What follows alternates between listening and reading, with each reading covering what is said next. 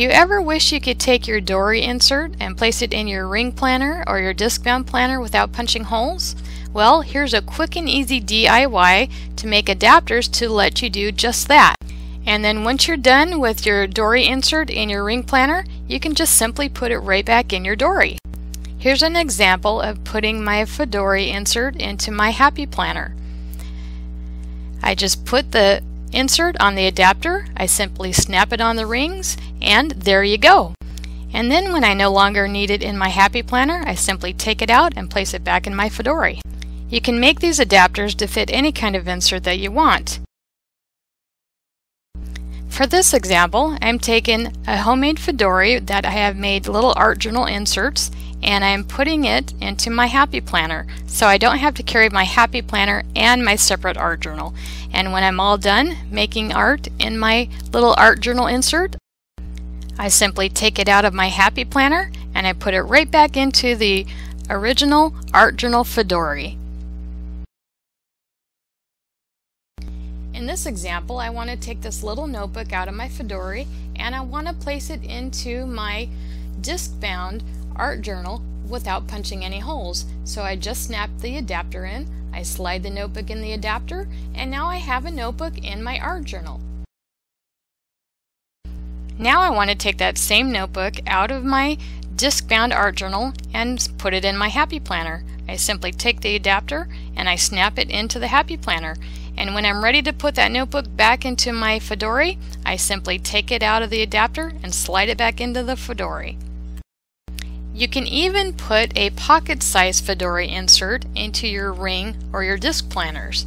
You just need a smaller adapter.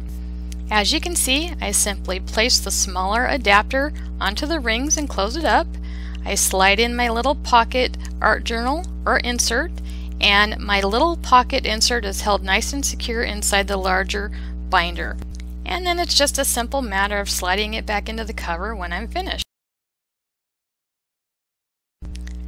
Supplies for this project are fairly simple. You just need either a piece of packing material that's at least 8.5 inches long, or you can even use 5 mil laminator pouches. For this example, I'm going to use these dividers that came in these uh, holders, these 12 by 12 holders for scrap paper sheets. As you can see, it's thick but flexible plastic, and you can pretty much use any thick flexible plastic. And I like to cut the size that works for me at 8.5 inches tall by 1.5 inches wide. This size leaves a little bit of excess length that you can trim off later on if needed once you put it into your planner so you can customize the length that works just right for you. And again, you can use any plastic material that's firm but flexible or strong, such as the 5 mil laminating sheets. In this example, I'm going to make a adapter for this little notebook. That's not a full-size notebook so it's kind of an odd size. And that's a nice thing about this is that you can make them for any size that you need. So the first thing I do is I just take a divider out of my planner. I center it on the plastic and I just simply trace the holes in there. Then I take my Crop-A-Dile and I just punch out the holes. Now if you need to make the holes a little bit bigger just do a double punch on each hole, make them kind of oval, and then they'll be able to slide on your planner rings just fine. So now I'm testing the holes to see if they fit on the planner rings and they fit perfectly. So the next thing I'm going to do is just take my notebook or whatever insert that you're going to be using and I just eyeball it right in the middle of the length and the width of this plastic strip. And then I take my pen and I simply mark right around the edges on the corners of that insert. I take my Crop-A-Dile and I punch the holes right just a little bit beyond those markings. So the holes are just a little bit above and beneath the edges of the insert that I'm using. Now here I take a Fiskars cutter that has one of the sharp pointy cutters rather than the wheels and I'm just lining up those two holes that I punched in the middle. I want the right size of the holes right on the edge of the cutting line because I'm going to be cutting out a slot out of this plastic.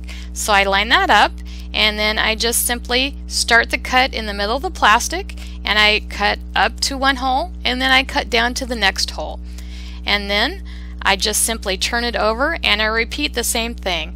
Now you can see that it just cut a slice out of the adapter. So now you have a slot that you can just slide your insert right into. And I put my insert in there and I make sure it slides in nice and smooth. If it's too tight, just make your slot a little bit longer.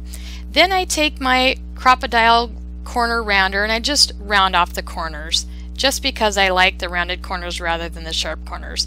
So now I am just putting the insert into my six ring planner and it fits just perfectly.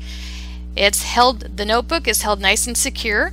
However, the plastic does stick up just a little bit longer and taller than what I like. So I'm this is where that excess comes in. I'm just putting it back into my cutter and I'm trimming off the excess to the length that I like so it doesn't stick up too high above all the papers and the dividers and I take my corner rounder get round off those corners again slide my insert in there into the adapter put it in the rings and it just fits perfectly in my six ring planner and this one happened to be by Marion Smith the Peachy Planner which was a limited edition and it fits just wonderfully.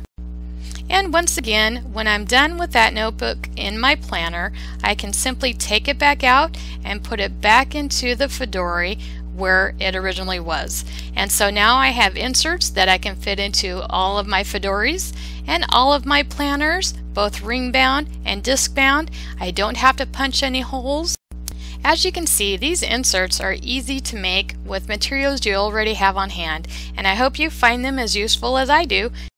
If you find this useful, please give me a thumbs up on this video and feel free to leave me some love in the comments below or if you have any questions I'll get back with you as soon as I can. Happy planning everyone!